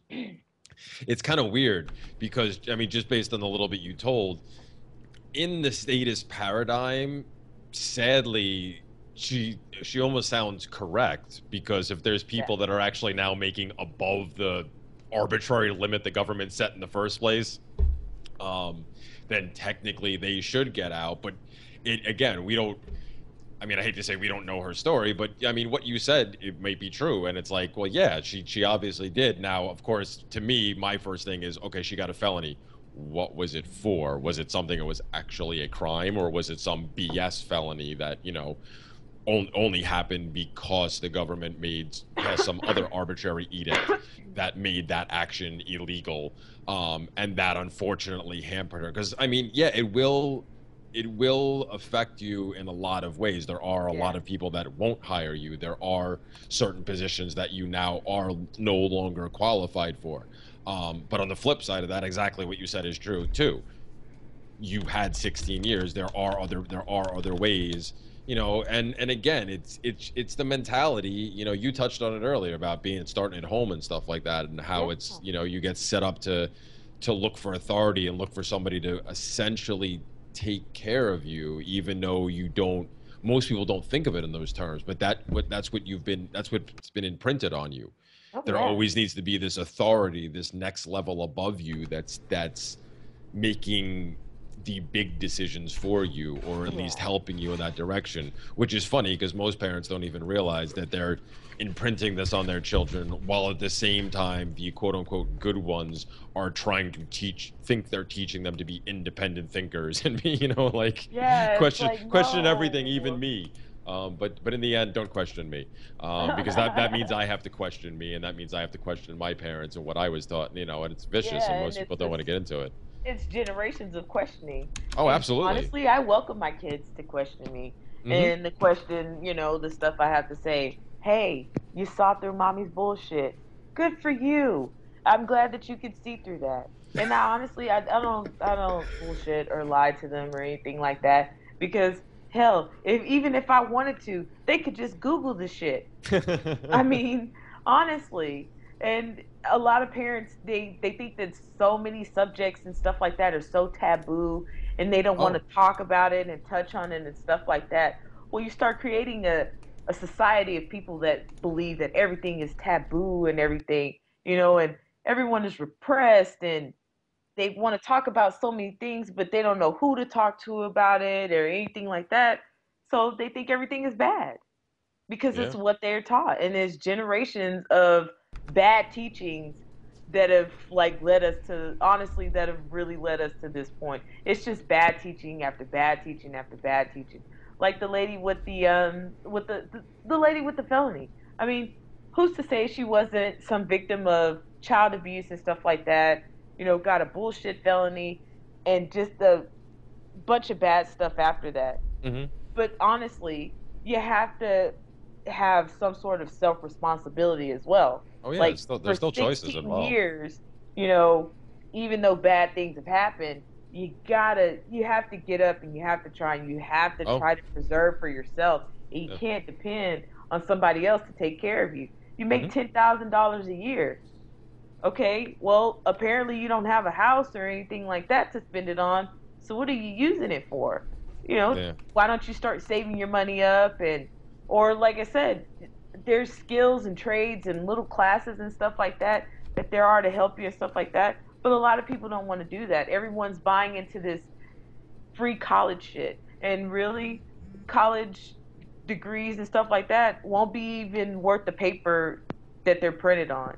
If everybody has a college degree, what good is the college degree? Yeah, yeah. I always say, you know, if every if if everyone had a bar of gold, how much would gold be worth? Yeah. Hello. It would be worth nothing because everyone has one. Well, yeah. Unless someone could eventually collect all of it, and then it might gain some worth. But it's almost like a you know, college education doesn't. There's people out there making kill. They're killing it, and they they they, they didn't even finish high school. Yeah, my dad is one of those people. He um, sure. my dad was he didn't like high school, dropped out. Um, I mean, Ludwig von Beethoven. He did a did a bunch of different shit, and one day he got tired. He was like, "Look, I'm tired of drug tests. I'm tired of people fucking with me. I'm tired of just working with people in general." So he went and he started something for himself. And in owning your own business and stuff like that, you have to fail. And so many people are so afraid to fail. They're afraid, you know, to go out and try because they've either gotten to some sort of comfy position where someone's paying them a great salary or That's where I was. Yeah. that's that's where I was. I'm I'm I'm literally who you're talking about. I was like, am I going to turn down, you know, all this money to take a risk? You know, and I would have I I, I would still be employed at the job I was at if it, had it I, I well there was a an economical gun held to my head if I would have quit, I would have never gotten my severance. And if I just let them fire me or, or let them let me go, then I get my severance. And you know, I I, I needed the severance, so yeah. there was uh, my hands were kind of tied in that in that situation uh, from a logical standpoint. You know, why would you quit a job where I'm not going to be able to get a better paying job for the same thing? And then on top of that, why would I quit a job that's going to give me severance? You know, it, it makes no sense unless something came along that was going to offer me so much more that I would be a fool not to take it. So my hands are kind of tied there. I mean, uh, you still had a choice. I, I, mean, yeah, yeah, yeah. I had a choice, but it wasn't a logical one. This one I'm, I'm making so far has been pretty good. If I if I get my house sold, I should be able to buy a house. I have a house lined up that I'll be able to pay out, out all off all outright and just have the deed in my hand and um, and yet you still won't. And yet you still. I, I, I still won't own it. Of course, I, will still have to pay property tax. I'll, I'll still have to pay property taxes, but um, I won't have a mortgage. And just no, that's, that's huge. Just that's, that is just amazing. Huge. Just that is amazing. That's like nine hundred dollars back into my bank account every month. That's fantastic. That's but, yeah, unbelievable. Not not not not having not having a mortgage and not having to deal with the, the state on top of that is even better. So it's way better on top of that too. That's what I am that's that's what I'm that's what I'm in for. I want to get I want to get out of I want to get out of my mortgage and then get out of the home ownership deal. At least the way they think of ownership, um, out of that deal altogether. And uh, you know. So Cynthia, um, are you are you are you going the whole peaceful parenting route? I'm, I'm assuming you are. I am going the. Uh, I try for the most part. I know it's hard. yeah. Well, it's yeah, really I... hard. I have an 11 and a 13 year old, and my 13 year old is my size and my height. And trust me, she's tried me a couple times where I couldn't go a peaceful route. So Well, I, know, my, my girlfriend part, was. I just talk to him and stuff like that, and you know, guys, you have to make better decisions, and that's hmm. what I try to get them to realize. You have to make the decision. I'm mommy. I can only guide you so much, but you have to. In the end, you're the one that makes the decision. The consequences follow you. I'm just a guideline here. You know, I'm, I'm here to help you. I don't want to see over you or be that authority over you or anything like that. You're your own person. I, w- I want you guys to be happy and free and everything. And honestly, most of the time it works. But like I said, I have a 13 year old, my hmm. height, my size. Hmm. and my, my, my girlfriend was, was asking me some questions I didn't really have any answers to because I haven't really allowed myself to think towards like how I would be a peaceful parent because I don't want any kids. Oh, good. So I, I just I'm like no, that stuff doesn't interest me, so I haven't read about it. But you know, she was like, so if you've got like a 14 year old kid and you're like, hey, clean your room, and they say no, what do you do? I go, well, come dinner time, well, uh, I'm not gonna feel like cleaning or cooking them food. There you go. But well, that's just that you gotta, seems, seems a little silly for a 14 year old. Fourteen year olds, they, they'll make their own food. If they, if they don't, if they, if, if they, if they don't want, if they don't want to, if they don't want to, if they don't want to clean the room, so what? At that point, it should be their territory. Well, anyway. let's just say that there was something that needed to happen, and you know, and and I said, hey, will you please do this? And they said no. Well, but that also that also. I don't. All right. Well, then I'm not going to feel like driving you to see your boyfriend okay, or your girlfriend. You, you, know. You okay. Okay. Optional stuff is one thing, but taking away food from them, that's uh, that, that that that's not little not right because that that that that that that that act that makes you seem like you own your children that you can uh, take that away. How does that them. make you know? I own the food that's in my house. I don't own the child. I give you, the food child. But you have, I, yeah, you have a responsibility. I give the child food. The you have a responsibility to feed the and, child. And you have a responsibility have a, to care for the child. Yeah, and they have a responsibility. Until they, I mean, at 14, back a 100, 100 years ago, 14, you'd be married with with a kid already. Yeah. so, okay. So, I, what, what are you talking about? But if that, talking about food. yeah, but you also. You, yeah, but if we got a game tomorrow, and you're talking about practice here, Jeremy. If, the, if there's still, right? if there's still a situation Iverson. where you have not, if you have not given them free reign of as being a complete self owner, then no, you're still responsible for them.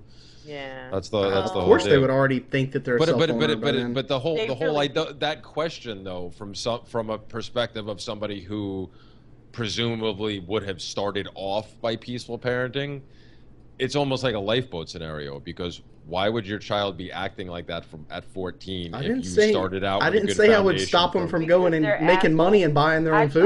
The, I've tried. well, but you didn't. But you. Yeah, but when did you start with this? Oh, did you raise them peacefully?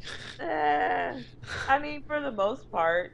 Uh, black mama, there's no way. Before the whole anarchism. well, no, that's what I'm saying. You yeah, weren't before you found this. Well, no, I, I, am not. But I'm not, not, all the time. You no, no, no. Really I, fuck up to get a don't, don't get me wrong. I wasn't trying to like. I wasn't trying to like attack you for it. I'm oh, just. Oh no, no. Because I, I know the same way. Before I became an anarchist, I uh, my kids are only lucky that they missed all of that because I found it at, as they were turning one. So before I even had the opportunity to start doing all this stuff is when I came across peaceful parenting and when I first started thinking talk, talking about you know looking into it and and finally accepting anarchism. So I haven't. My kids had the advantage there. Like that's the, I, the, my, they, that's the only thing I was I was trying to point out that you didn't start that way. So of no, course.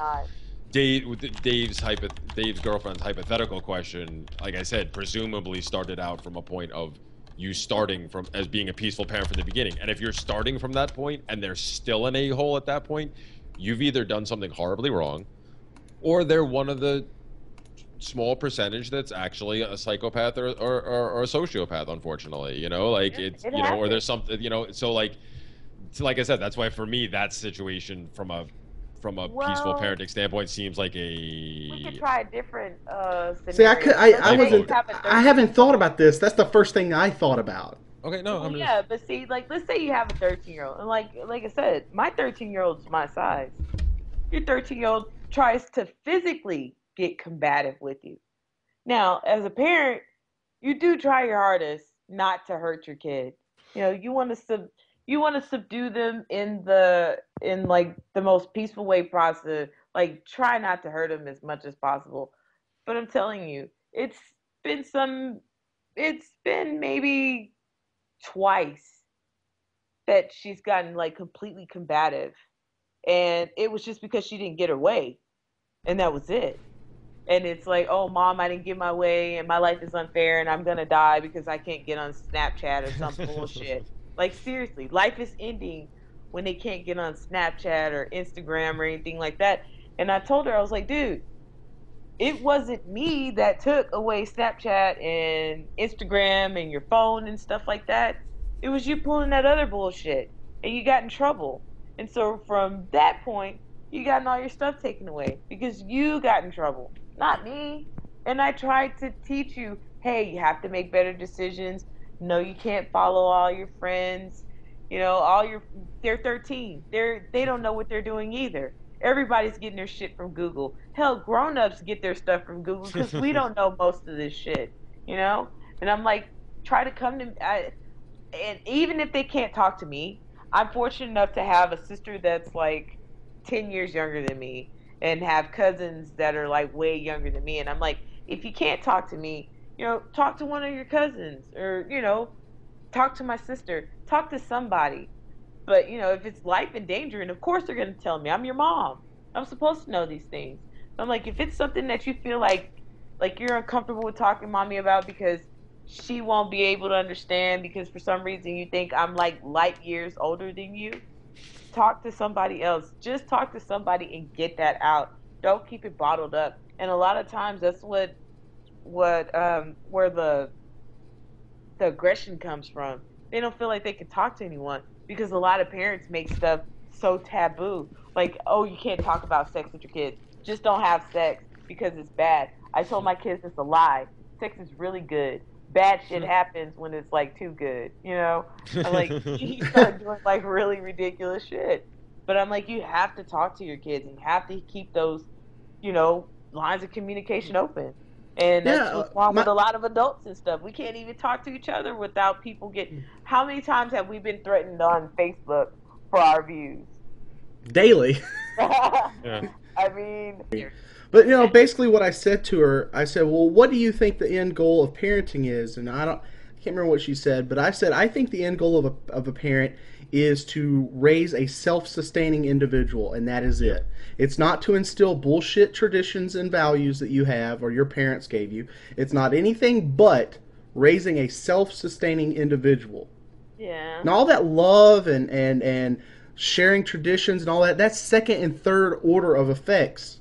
that's that's not the core component of being a parent. It's really that Well, the lo- the love well, you really actually, can't. You can't. You can't.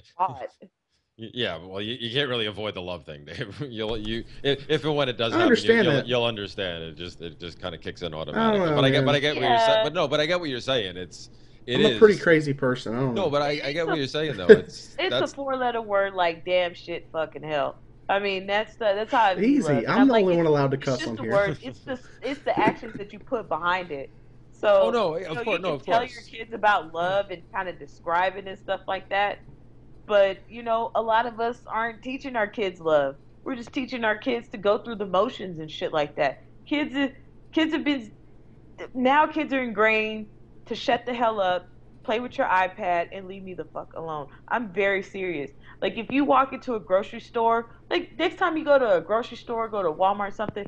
Look at how many kids are like walking with their heads down like this with a phone or something like that. They want to ask their mom or something like that. Oh, check your iPad. Do this. Do that. You know, that people aren't even communicating with their kids anymore. That's not. Well, I was gonna say that's not actually new though. That's no, like this, that's like the but same. It's becoming more and more frequent. Well, that's a luddite scare. Calm no, down. no, no, no, I was just gonna say it, it's kind of equivalent to you know people. I, I there was it was either somebody somebody either posted something about it or, or some comedian or something had a joke about it about the fact that people uh, you know say nowadays we're so disconnected from another one another because we have these little computers in our hands and everything. And you like you see a picture on a train um, and all these people sitting next to each other on a train but every one of them has their phone or something out and they're not like you know and everybody's thinking oh it's technology it's ruining us. But then they up next to it they put another picture of back in like the 40s or 50s when you know on the train and everybody's reading their newspaper and not yeah. talking to one another and not like so like that that whole idea like it's just more convenient now and yeah. i would uh, people the, it's one thing with strangers but with well, no no kids, but i mean no, but even but even that, even I was gonna say even that though, because you can go back to like the 40s and 50s and or even you know 60s, what, uh, whatever. There was other times where parents were the same way, where it was just like you know like the you know the prototype, you know the stereotypical dad comes home from work, just wants to read the just either wants to read the paper or watch or watch or do something a little bit before dinner and then afterwards doesn't want anything to do with the kid and you know kind of pushes them off to do something else. So like that also is not new. Um, yeah but but there is I mean there's there's people like that unfortunately that like you described that are that are that are just like you know oh do this uh, I mean I see it a lot in the more affluent community communities around me where the you know some of the parents yeah. are just busy being a socialite and their kids are kind of just like there with the nanny or whatever um, yeah. but on the flip side of that I also see I also see and know a lot of kids that actually ask for that time and they yeah. want that screen time and they want that thing. Although well, I would really want to connect with some automaton who's who like puts well, food on yeah. the table for you and shit every now and then, and the other time they're either sitting on the ass watching TV or on a cell phone or something. Yep. Like honestly, I, I actually I've like seen that a lot. Like when I used to work at a daycare, some mm-hmm. people would like hurry up, walk past, and the whole time they're like grabbing the baby with the phone in the hand and stuff like that.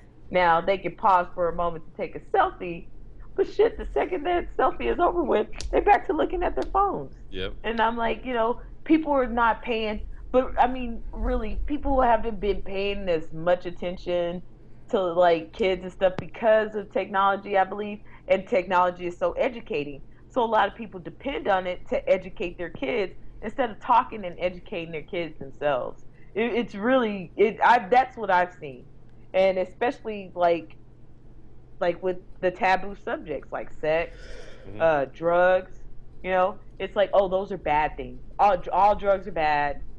Sex is horrible. You know, like the parents and pregnant. I guess and that's all they teach. I guess they forgot about how they learned about those things. Yeah.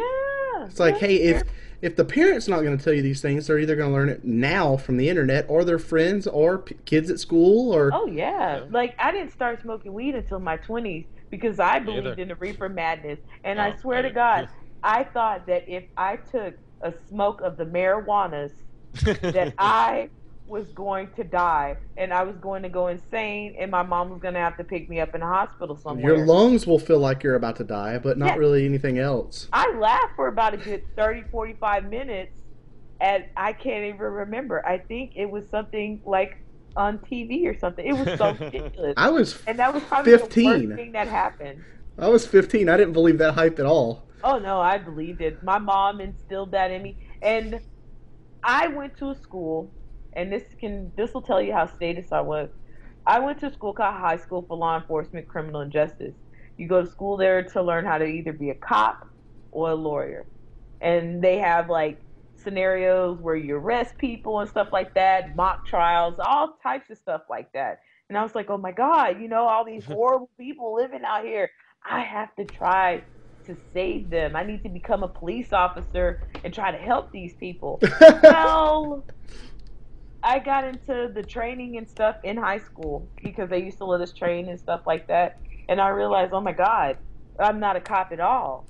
Because instead of handcuffing people like I was taught and stuff like that, I was like, no, we can't talk to them. I mean, shit, people fight all the time. They're like, no, you have to go in there with your gun drawn and stuff like that. You don't know. Literally, like all the stuff that I see now, the the no knock raids and stuff like that. I wasn't part of the training and stuff to begin that that whole process. I remember us kicking in doors and shit like that, guns drawn, just handcuffing people, and then we talk. And that's how they're training their officers. You kick in the door, you handcuff, and then you talk. Because everybody's a suspect, and you don't know who has a gun and who has a this and who has a that.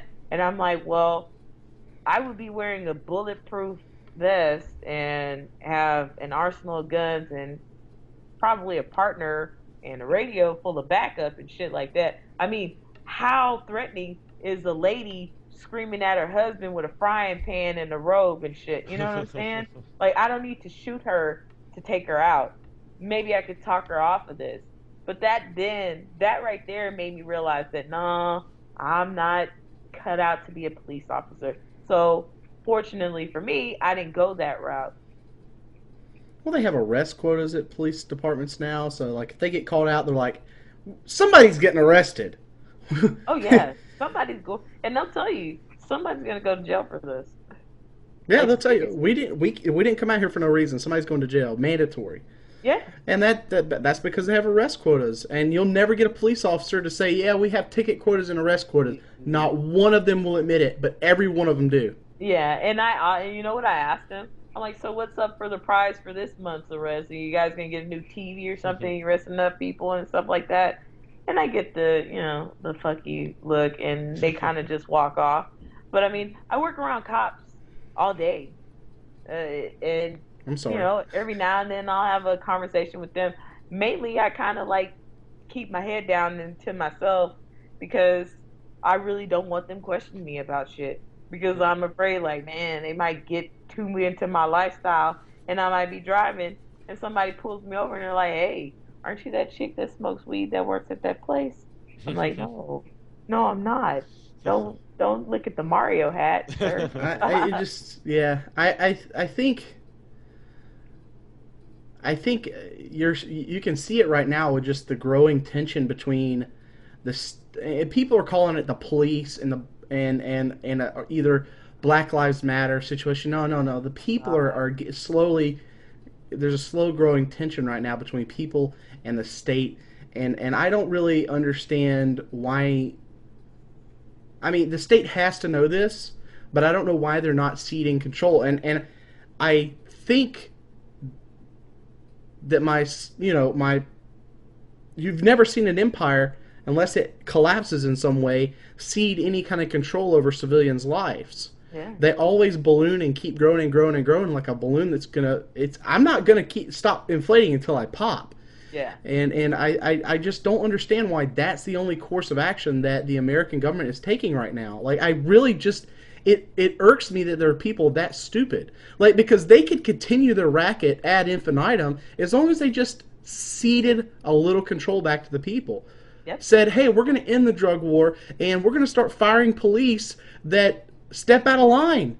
Yeah. And we're going to give we're going to give bonuses to cops who rat out other bo- uh, uh, cops. Yeah. So you, you do that and oh wait, all this tension and everyone hating each other slowly starts going away. Yeah, it. And you can continue your racket for a little longer, but they're they're making the same mistakes that every government has ever made, where they just keep taking more, keep taking more, keep taking more, and it's like a runaway train. Yeah. Eventually, it's got to crash. And if you, if, if, but CP, and unfortunately, people continue to perpetuate this with fear. And, you know, what they use as the fear factor is the news. You know, how many, oh my God, statistically speaking, you know, this many kids have been raped. And, you know, one person raped somebody and they're like, oh my God, all these kids have been raped, all these kids are doing this and all that. And it's not even close to that. And people are trusting the same exact people that are lying to them. Like, they trust the statistics of the people that are lying to them. And they continue to thrive off of that. And it's just been perpetuated into this giant ball of hatred and everybody feels like they hate each other but it's not that they hate the state and what the state is becoming what the state is turning people into you know perfectly innocent people are being their lives being turned upside down over a plant you know what i'm saying you know over their personal decisions like what if a woman does want to become a prostitute oh well what about the the sex trafficking and stuff like that if someone is willingly selling themselves and stuff like that, I honestly have no qualms with it. Yeah, of course I don't like sex trafficking and stuff like that, and you know people being sent over and uh, against their will. But there are people that are willing to do this. Hell, they make movies about it. It's called sure. pornography. really, I mean, you know, people can't even make personal decisions anymore without someone telling them, okay, that's not right, and you can't live like that so everyone has had this they have this uh, picture that they want you to live, like this picture perfect life, kind of like Stepford life, you know, mom, dad, kids, the whole nine, marriage, and all that. Well, we all know that life isn't like that. You know, people get divorced, kids die, sad shit happens all the time, really sad shit. But that's not, we can't use that, you know, in our, we can't use that to like continue to perpetuate this bullshit. It's it's a lie. I mean, the statistics of people getting hurt or raped or anything are probably a lot lower than what they're telling us, but they need that fear to keep themselves going. So they're going to keep pushing it up. Well, the state always has to prove. Stories. The state always has to prove its its necessity. That's why oh, there's yeah. always a crisis. So there's always a you know this or an always or a school shooting that they can you know there's i mean where you know they take all the guns away and it'll be school bombings and then they take yeah. all the bombs away and then it'll be school knifings and they'll take all the knives away and it'll be school uh, pool noodles Sporkings. i don't know sporkings yeah. well, uh, and, and, they'll start taking off their shoes and beating the hell out of each other with them what are you gonna do ban shoes i mean what if ever what if all the kids took off their shoes and started throwing shoes at their teachers and everyone else. Seriously, are you going to ban shoes? Will everyone have to come to school barefooted? Yeah, it, it, it seems like it seems like common sense doesn't allow for. I mean, here's the thing: you got people out there that go, "Oh, the government should do something about this," and the government goes, "We don't really care about this, but that would give us more power." So yeah, we're going to make this an issue. And you got people that go, "Oh, okay, wow, I guess people want that," and the government goes, "Yeah, people want that," and they're just grabbing more power because you know this is a large thing. I try to get people to understand is the state does not give a rat's ass about you. They don't give no a rat's out about. They don't care about their highest ranking general or a homeless person in downtown Detroit. The state does not care about either one of those people in any different significance as long as both of them support the state. Yeah. And if you're not generating revenue, you're not shit to them. You really aren't. And and even if you are generating revenue or a potential a potential revenue for them. Yeah, then and, they'll and care honestly, about you. People people get wrapped up in the colors and stuff like that and they want to talk about systematic oppression and blah blah blah blah blah and I'm like all of that's caused by government. You know what I'm saying? That's all caused by individuals who've gotten together to tell you how to run your life. And yeah, liberals will go on, on and on about person that's running and stuff. And I'm like, you're not focusing on the 200 asshats that are, you know, passing these bullshit legislations and laws and stuff like that that are making it hard for you. You know, everybody's just worried about the puppet. They're not worried about the masters behind it. And the masters are the ones that are they're continuing the fear and stuff like that. And it's like, oh, well, you know, guns are bad and you know, school shootings wouldn't happen if there weren't guns. I'm like, well, if school, even if there weren't any guns, like you said, they'd find some other way to harm somebody or something else. If you take all the way, take away the guns and knives and stuff like that, people start breaking branches off of trees. What are you gonna do? Cut down all the trees? I mean, people can't seem to grasp the logic of you're snowballing this into a lot it's gonna get worse before it ever gets better. And more government is not the answer. In fact, a lot less government would make everyone's lives a lot better. And no government at all would probably make a lot of people's lives ideal. You hmm. know, you wouldn't have that you wouldn't have that entity staring over you and stuff like that. But people are used to praying to entities and deities and bullshit like that. So, you know, like everyone has everyone talking about how this is a Christian nation and you know we don't want to let the Muslims in and all that other bullshit. You know, people have been ingrained to believe that there's some sort of higher person watching over them, be it the government, God government, or God Himself watching over you. You know, government. There's somebody watching over you at all times, and the government like is always watching. Yeah, and, and He loves like you. If if there's no one there to watch, people will do bad things. And I'm like, well, government exists and there's still a lot of people doing a lot of bad shit. So what are you going to do about that? What about the Timothy McVeighs? Government existed then, right? And he was still able to bomb. So well, allegedly. Allegedly bomb. Well, uh, I think he, he, he got oh, duped. Oh, he, he was also, he was also allegedly bombing to strike back at government. So. oh yeah, yeah, that worked. Yeah.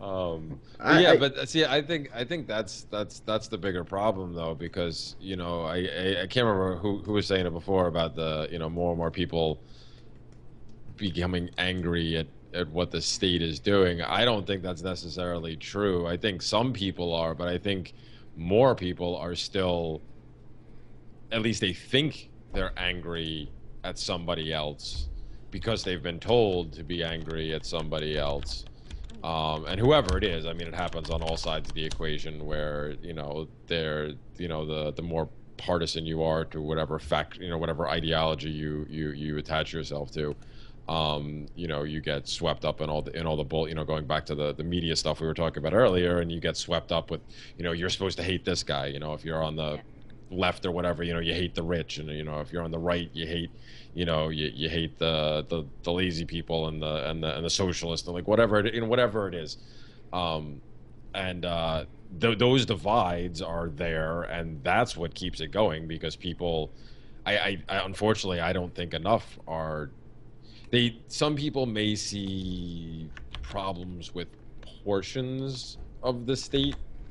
Um, you know like the pl- the police brutality thing has become bigger i guess like more people from differing ideologies are starting to come together on this one issue but a lot of those same people don't recognize the totality of the state. They see these separate entities because even for them, the police, they're like, well, that's not because it's not federal. That's not part of the government. That's just there's the local things. It's not like yeah. you know. It's like they so they have this separation. So they're still even if they see even if they have a problem with a part of the state, they don't recognize how it's attached to the bigger state itself and uh, the apparatus and what's going on and why they need to keep being angry yeah. at the state itself instead of getting sucked up in these ridiculous divides and you know because it is they're all planned they're all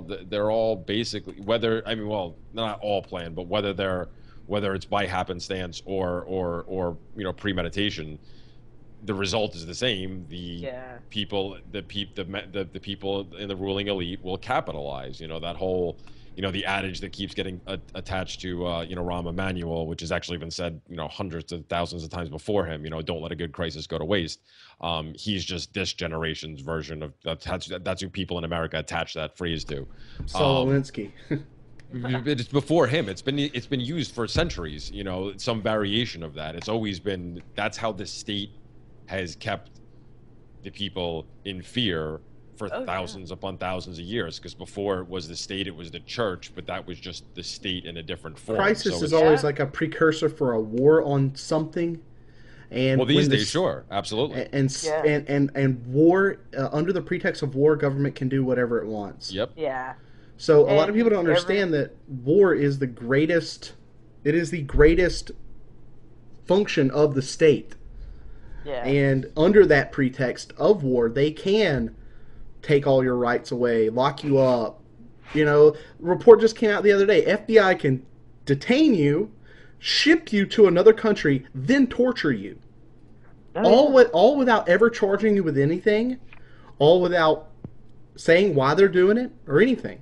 They pick you up and you're gone. So you you piss off the wrong FBI agent. What happens? You're gone. Yeah. That's too much power for someone to have. It really is. And people were like, well, people are bad, so we need people to rule over people. And I'm like, wait, go back. You want people to rule over you, but people are inherently bad. I'm like, wouldn't it make more sense that you were able to make your own decisions and, you know, kind of govern yourself? Well, no, well, who who'll protect us and where will the police be and and what about the military and you know what if you know Afghan uh, Afghanistan or Iraq and we'd be speaking German right now? And I'm like okay all right guys let's start over. I normally when they say are... we'd be speaking German I go do you know the Fed Federal Reserve uh, basically jump started the the Nazi revolution? Oh yeah. And they go, wait a second. And I'm like, so without the Fed printing money, then giving it to the Nazi Party, World War II wouldn't have happened. Hmm. hmm. But those and, facts, Dave. And someone, I believe, who was voted on, put the Federal Reserve in. That's funny. Right. Yeah, I think it was Woodrow Wilson. Yeah. Oh. So without Woodrow Wilson, we would all potentially be not speaking German right now. There you go. Well, but they so pe- people never they only think in their minds around that. they don't think. No, they don't. They just they just kind of go with the whatever they see on the news or love it or leave it reported to them. These colors like, don't oh, run. Love or leave it. Yeah, it's like well, well the the news said and the government said and these. God, I saw a guy with a one of those sheepdog shirts on. Have you seen oh, one of those? Jesus. No, uh, but I can only imagine. Yeah, it's like, you know, the the the sheep sleep sound at night because of the sheep dog. No. Yeah, and I I just wanted to be like, You need to die. Uh, well, you need to disappear. That, yeah, well, that that they're comparing the rest of their fellow men yeah, like to sheep is pretty sheep. is pretty funny. Because um, they don't they don't of course see the irony of that either. No, um, no they don't. But, they they feel like they're protecting us, and I'm like, okay, so well, how exactly are they protecting? And when you bring that up, and when I bring it up, and you guys know how I bring shit up, and honestly, when I brought it up, and I was like, okay, so we have, what do we hemorrhage? What trillions into our military? We're, we're hemorrhaging. Okay, and you guys are worried about a bunch of doom coons with some fucking Toyotas and AKs. I, I know motherfuckers on down the street from me that's got Toyotas and AKs. And you're worried about them coming over, even with all the the the with what navy jets and all the shit. Come on, the ISIS navy is to be feared. We've talked about this before. I, I know. I'm like, my I'm like, I just I don't understand the logic. Like all this money that we hemorrhaged into protection, and people still don't feel protected shouldn't that say something right there? You know, well, maybe they're not protecting you. Cynthia, maybe. you're using logic and ration. That doesn't happen. Or, or you need to fear. You need to fear. Use well, your feelings. voluntary. Maybe we should come up with like a fear campaign for voluntarism or something like that. Maybe that'll get more people in there. Because honestly, you should fear. yeah, it's like, hey, you should fear the government because of all the bad shit that they do. But when you say that, they think you're a tinfoil wearing nutcase. You know what I'm saying? Like, oh my gosh, there, there's one of those naked wood running anarchist people that want to make us farm and do shit like that. And I'm like, no, you know, throw bombs and light police cars on fire and yeah. burn down yeah, Shoney's and. Oh, they're like, oh, you don't have a mohawk and wearing a bunch of leather and spikes, and I'm like, what the hell is wrong with you? Anarchists don't dress like that. That's this isn't the rogue warrior. I mean, even still, all that shit is caused by a corrupt government.